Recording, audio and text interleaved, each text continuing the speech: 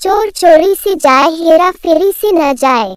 एक जंगल की राह से एक जौहरी गुजर रहा था। उसने राह में देखा कि एक कुम्हार अपने गधे के गले में एक बड़ा हीरा बांधकर चला आ रहा है। ये देखकर कि ये कितना मूर्ख है। वह बहुत चकित हुआ। क्या इसे पता नहीं है कि ये लाखों का हीरा है और गधे के गले में सजाने के लिए बाँध रखा है। उसने कुम्हार से पूछा, सुनो ये पत्थर जो तुम गधे के गले में बांधे हो, इसके कितने पैसे लोगे?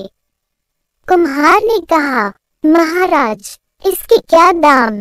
पर चलो, आप इसके आठ आने दे दो। हमने तो ऐसे ही बाँध दिया था कि गधे का गला सूना न लगे। बच्चों के लिए आठ आने की मिठाई गधे की ओर से ले जाएँगे।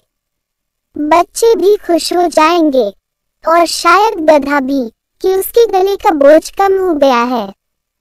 पर जौहरी तो जौहरी ही था, पक्का बनिया, उसे लोग पकड़ गया। उसने कहा, आठ आने तो थोड़े ज़्यादा हैं, तू इसके चार आने ले ले। कुम्हार भी थोड़ा झटकी था, वो जिद पकड़ गया, कि नहीं।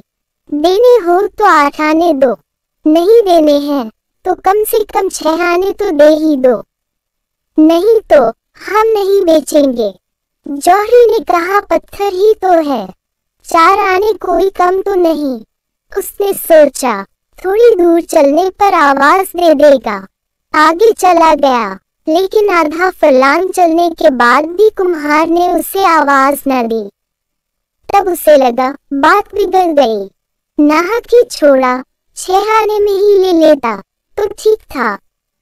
जौहरी वापस लौट कर आया, लेकिन तब तक बाजी हाथ से जा चुकी थी।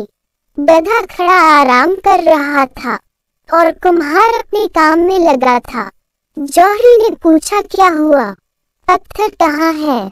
कुम्हार ने हँसते हुए कहा, महाराज, एक रुपया मिला है उस पत्थर का। पूरा आठ आने का फ़ायदा हुआ है। आपको छह आने में बेच देता तो कितना घाटा होता, और अपने काम में लग गया। पर जौहरी के तो माथे पर पसीना आ गया। उसका ये सोच सोच कर दिल बैठा ही जा रहा था। हाय, लाखों का हीरा, यूँ मेरी नादानी की वजह से हाथ से चला गया। उसने कुम्हार से कहा, मूर्ख, तू बिल्कुल गधे का गधा ही रहा। जानता है, उसकी कीमत कितनी है? वह लाखों का था और तूने एक रुपये में बेच दिया। मानो बहुत बड़ा खजाना तेरे हाथ लग गया। उस कुम्हार ने कहा, हुजूर, मैं अगर गधा न होता तो क्या इतना कीमती पत्थर गधे के गले में बाँध कर घूमता? लेकिन आपके लिए क्या कहूँ? आप तो गधे के भी गधे निकले। आपको तो पता ही था कि लाखों का हीरा है। और आप उसके छह आने देने को तैयार नहीं थे। आप पत्थर की कीमत पर भी लेने को तैयार नहीं हुए। यदि इंसान को कोई वस्तु आधे दाम में भी मिले तो भी वो उसके लिए मोल भाव ज़रूर करेगा।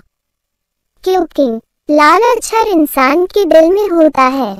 कहते हैं, न, चोर चोरी से जाए हेरा फेरी से न जाए।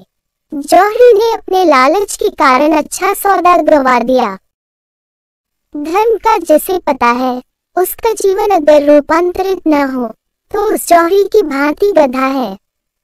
जिन्हें पता नहीं है, वे क्षमा के योग्य हैं। लेकिन जिन्हें पता है, उनको क्या कहें? आगे कहानी के लिए चैनल सब्सक्राइब कर लीजिए, साथ ही नोटिफिकेशन बेल आइकॉन क्लिक करना न भूलें।